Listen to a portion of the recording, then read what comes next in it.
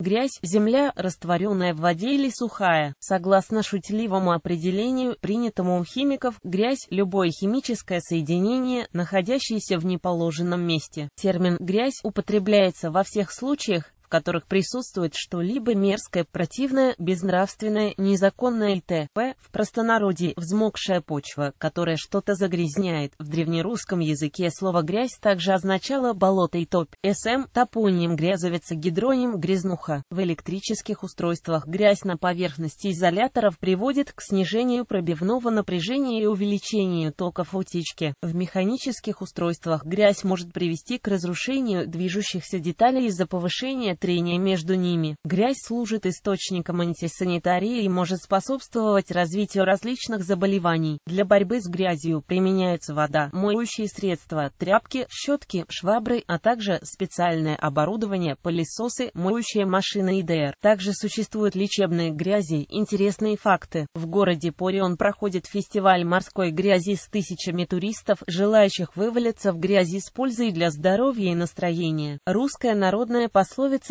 «сей в грязь, будешь князь» указывает на важность полива почвы в земледелии.